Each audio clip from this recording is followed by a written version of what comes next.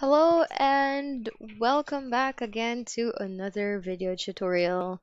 It's me again, as always, Titan. And this video is going to be about H5P activity or resource entitled column. Let's jump right in. Go to the course where you are going to insert that H5P activity. Don't forget to turn editing on as always. And go to the section or area where you are going to insert that activity. Click Add an activity or resource, go to Activities, then choose H5P. Fill out all the necessary details before you move along to the editing of this type.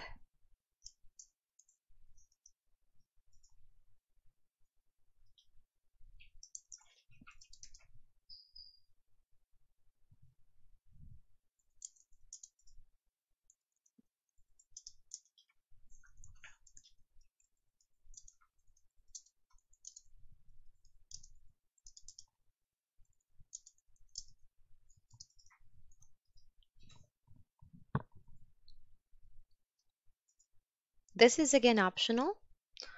And all the other options here. So this will depend whether you are going to compile different types of content which are graded. Like for example multiple choice fill in the blanks flashcards and all the other activities which require grades.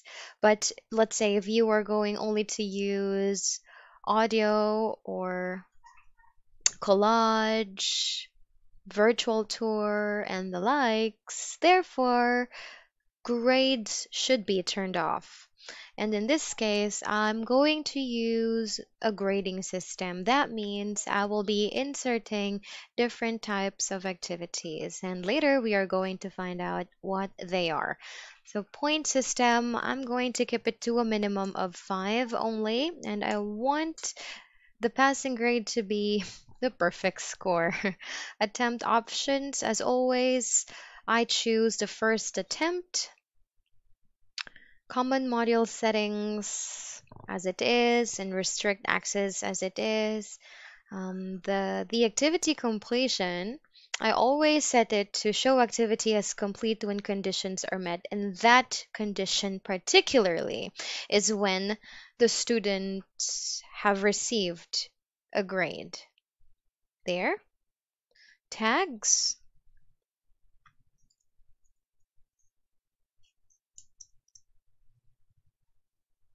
And let's go back up. Click on opens a new window. Now you are here in the content bank. Let's look for the column. Click on that. And as you can see here, you are now ready to create your file. So we have here the title. Mm, I'm thinking of something simple. So let's put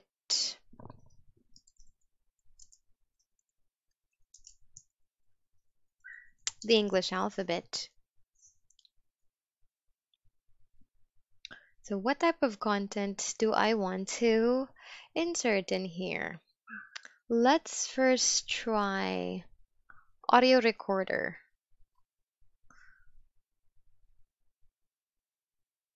And the, the title is, hmm,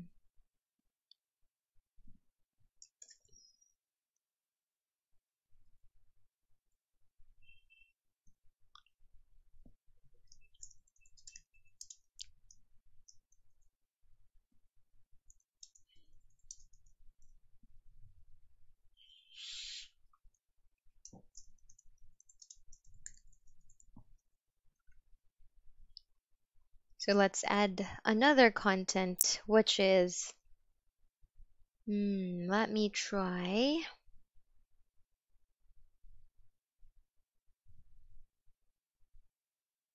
Let's try guess the answer.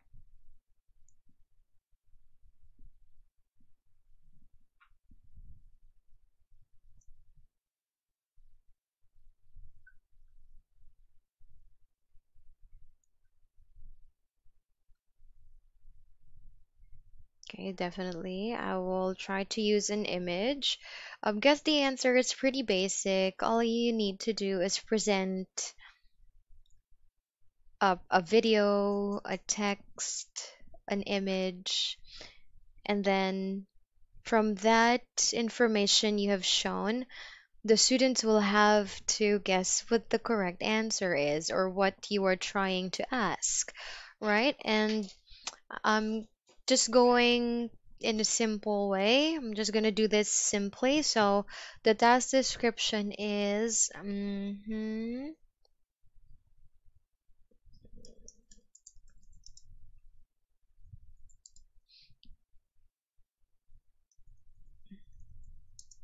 hmm, identify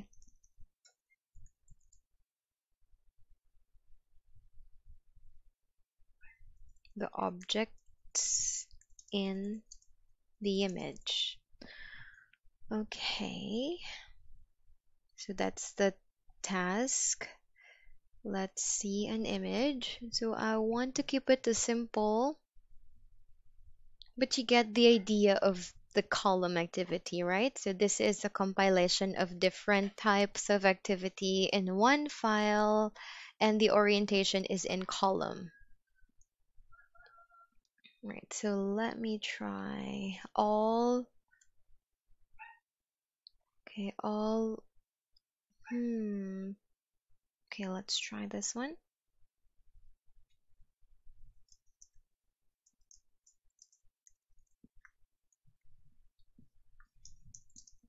Make sure to input the alternative text.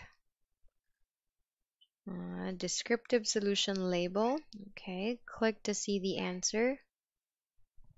And of course, it is an apple.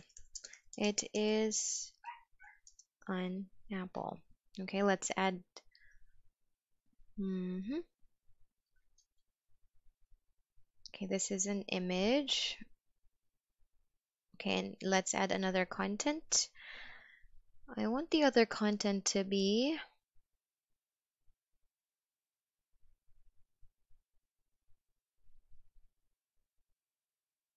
Let's try. Mm, I want it to be um, this one. Mark the words. All right, let's show the instructions. Okay.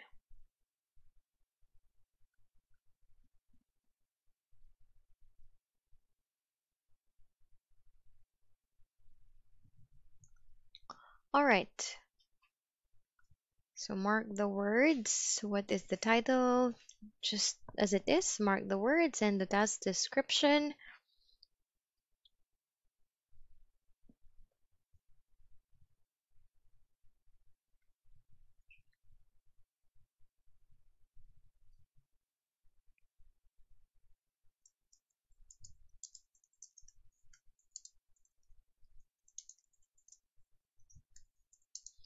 Beginning with the 15th okay beginning with the 15th letter of the alphabet. Okay so try to make it as challenging as possible.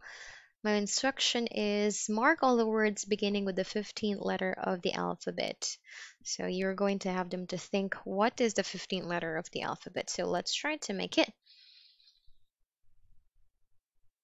Mm-hmm, Let's see.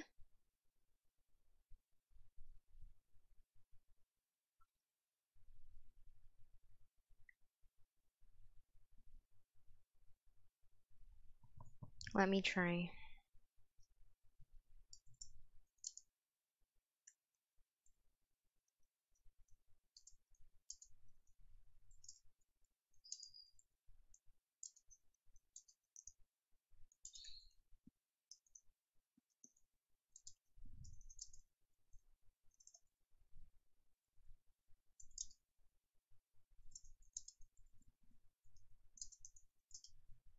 There.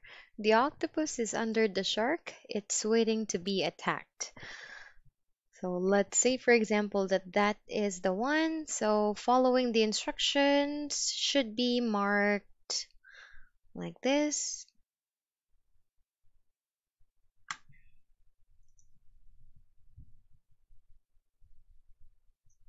Let's put asterisk before and after the word.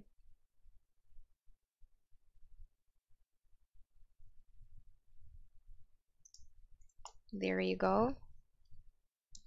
And once everything is done, you've um, tried to input all the activities you want to be compiled in this particular content. And now you are ready to set the overall feedback if you would have the feedback, but this is again something optional. I'm just showing you, let's say, for me, the passing score is 75% oh, sorry, 76. So 76 and above is considered awesome or because you have passed it. But when you get 75 and below, that means that no, you will have to try again. All right. And once you have set everything up. Okay, and all of these, you can now save it. Let's see the preview.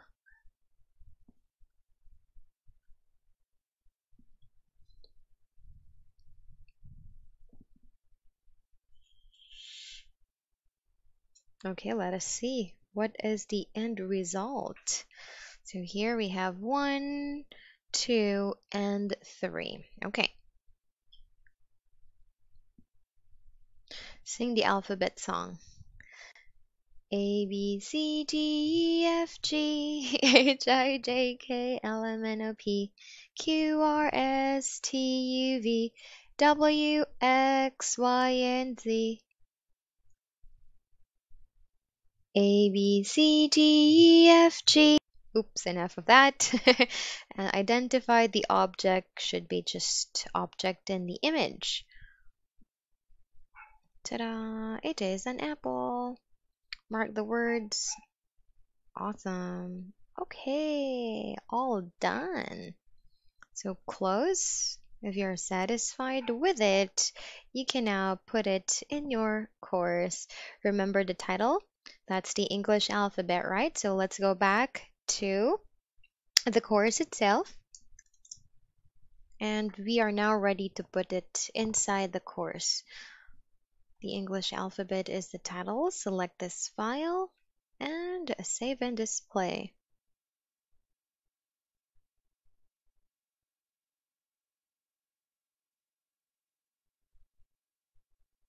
Here we go. There, this is what we call column. It is pretty simple if you were thinking of, let's say, putting different types of activities in just one particular activity, then you can use this one. It saves you space and also it is a good way to organize your data. And so that's it. I hope you find this useful. I'm going to see you again in the next one. All right. Cheerios.